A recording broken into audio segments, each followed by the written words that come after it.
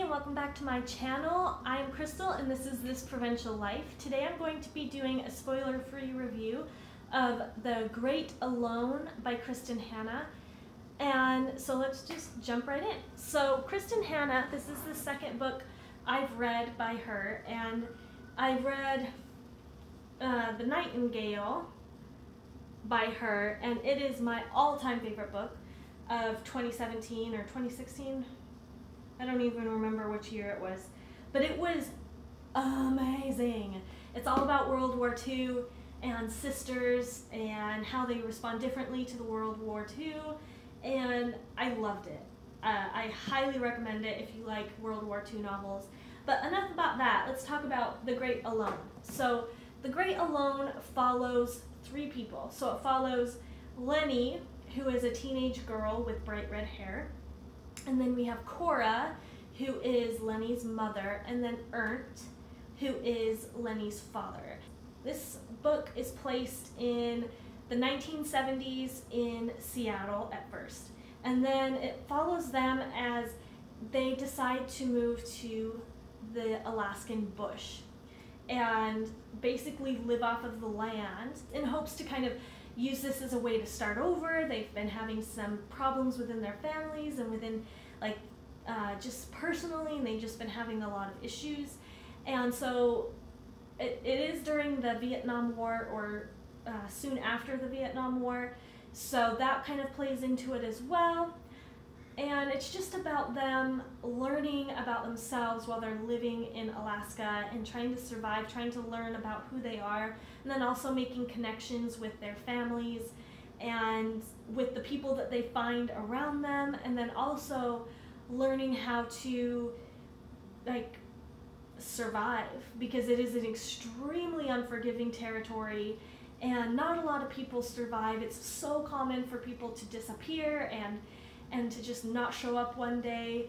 I loved this book. Like, I listened to it in audiobook, highly recommend it. The voice was amazing. From the very second I pressed play, I was sucked in, which is very rare for me in audiobooks. Sometimes it takes me a couple of chapters to kind of get used to the to the uh, the voice, you know, and the voices. But she was so natural. She made the the male voices sound really real. She made the women voices not sound too squeaky and juvenile and it just like it sucked me in. And i i think it's a 13 hour long audiobook and i think i finished it in two days. So i was like hooked. And the character development was flawless. Like every single person made like made improvements or they digress. Like the character development was flawless. The pacing was flawless it just it kind of read a lot like a thriller because it's just kind of like are they going to survive? What are they going to do next? And you know the antagonist being the wild. And there's also some other antagonist type situations as well that aren't necessarily the world the uh, alaskan bush. And then the writing style like i love Kristin Hannah's writing style it gives you enough information but it doesn't give you too much where you feel like it's bogged down. Like you want to read every word because it's just so beautifully written. And I 100% loved the writing style. The plot was amazing. Like you understood why they're doing what they're doing and you want them to succeed, but you also don't know if they're going to. And it has like that element of mystery and and intrigue that just makes a book so amazing and I give this gave this book five out of five stars. I would recommend this to anybody that likes literary fiction. It is just, mm, it is so good. I would recommend this to men. I would re recommend this to women. I would recommend this to someone younger. I would recommend this to to anybody. It is just so well done. It isn't like watered down. They are really truly explaining it very well. They explain um, the area really well. It seemed like Kristin Hannah really knew this area and did her research and really knew what it felt like and what it was really like to live in this area. If this intrigues you, I would 100% recommend this. I love it. And if you have read it, um, I will leave my spoiler review above so you can. Strider, no, no.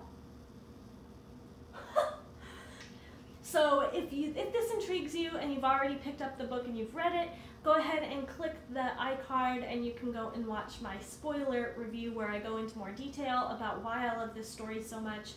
And if you haven't, like go read this book and then go watch that because this book literally like I think Kristin Hannah it has become my all-time favorite author.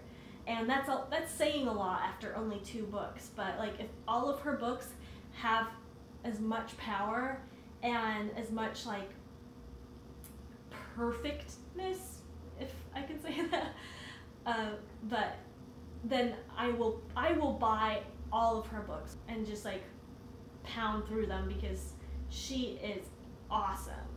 Okay, so hopefully you guys enjoyed this video. If you did, give it a thumbs up and subscribe. But otherwise, I'll see you next time. Bye!